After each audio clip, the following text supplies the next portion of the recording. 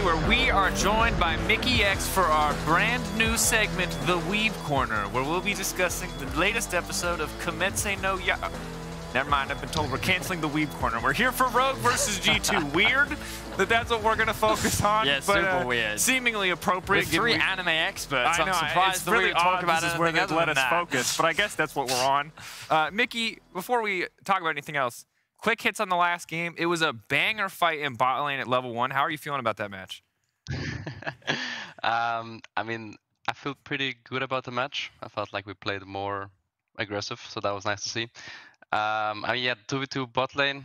Yeah, I'm not sure what they were trying to do when they have cleanse and we have heal, and Leona's pretty strong. Um, but I made sure to like counteract their grief with my grief by just getting hit by Jhin W. So like, because I was just like saying like, okay, a rail just died. He could be like anywhere on the map. He has like uh, tempo, and then I just yeah, I just ate a W in my face. But in theory, like Patrick should have blocked it, so it's kind of on him. Yeah, but Mickey, Mickey, you know we love narratives, okay? Yeah. So Yeah. we like to believe that every time you play against Hylissang, there's like something inside you that you know you just level up because you're both veteran supports. You can now confirm for us that that is in fact true, right?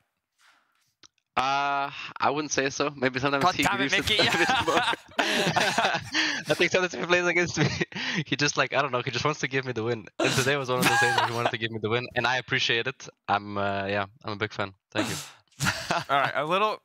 Felt a little disrespectful. Respect to you, you did get the win. Uh, now, focusing ahead to the match in front of us, before we get into the nitty gritty, this is for you, audience. Let us know at home who you think will win. Head over to discord.lec.gg and vote for Rogue or G2 right now. We'll keep a look on that. We'll keep an eye on, keep a look on, keep an eye on that poll as we go later. I would love Mickey, to get your thoughts uh, on this week and past week rogue compositions. We spoke on Euphoria earlier this week about how good you think their drafts are. I'd love to hear some of the specifics with some of the examples that we have. Um, yeah, the problem is I can't really see uh, Oh. the screen. Well, but, that's fine. You know, I'll give you the summary. I'll uh, try to think back of yesterday when we lost them. Vedius's going to read them out to you. yeah, And okay. Okay, together okay. you will form a single analyst. Exactly.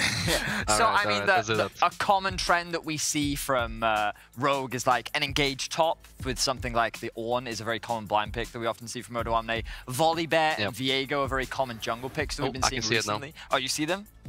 No, yeah, yeah. Okay, okay, cool. Do you- Okay, a lot of range supports, Yeah. which is like not that common, I guess, for most teams. Um, I guess for Trymbi, I also like I didn't think he was a range support kind of player, but I mean, looks like tank jungle and tank top, and then range or like yeah, double range bot lane seems to work for them really well. And of course, just like some scaling mid lane picks, and then yeah, it's the recipe for success, I guess. But the thing that I think was pretty interesting about Rogue's drafts is that they almost always have like two winning lanes. Is something that I feel that they always try to uh, Yeah. go for because it was something that we saw a lot from Rogue last year, where ideally they would try and get three winning lanes, but often you'll see that they either have a winning 2v2 bot, or sometimes you will get that Gwen matchup from Odoamne because he knows that I can actually get the push in this matchup. So uh, Yeah. it feels like that them trying to get those prior lanes are still important to them. Do you think this is a trend that they have continued and is common for Rogue, or do you think this is just something that they're being given kind of freely a lot of?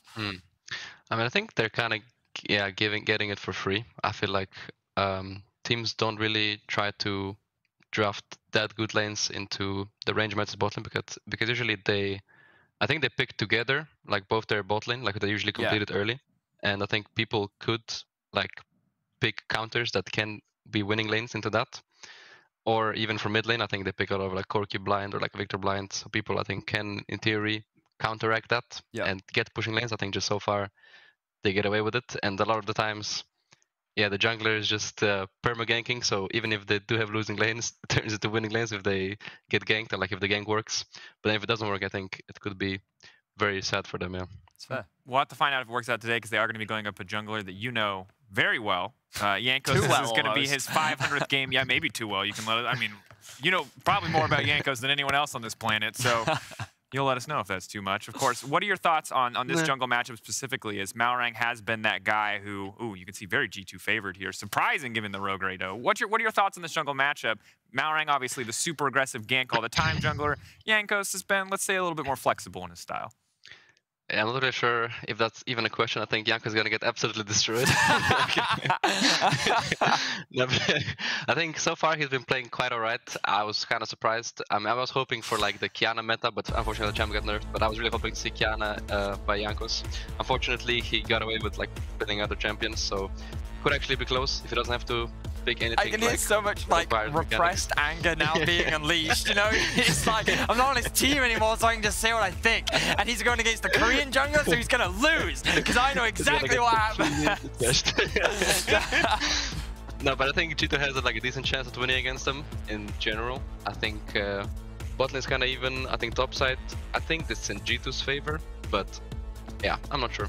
I think Rogue are maybe better as a team and in draft, so yeah, I think maybe like 49% G2, 51% Rogue, oh, in my opinion. Pretty close. We'll oh, that's good. It says six. It says yeah, 60-40 behind us though, Mickey. I'm just saying. I think the G2 might just have the plot armor, so. G2 yeah. certainly have in the past had a lot of armor. Didn't do you a lot of good, but it seems to be doing this season's G2 much better. Uh, yeah. Now, the fans seem to agree on the Jankos mid-season MVP. Of course, you can join the conversation with hashtag ping the lobby. Uh, we know it's First Blood King Jankos, says Lexi. Um, hashtag ping the lobby. Mickey, midseason MVP.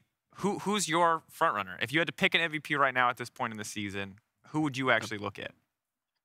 I mean, probably Malrang. He's just getting like so much free stuff, and I don't know, no one. He he's getting away with it for fun, and he's like getting a lot of wins for them as well.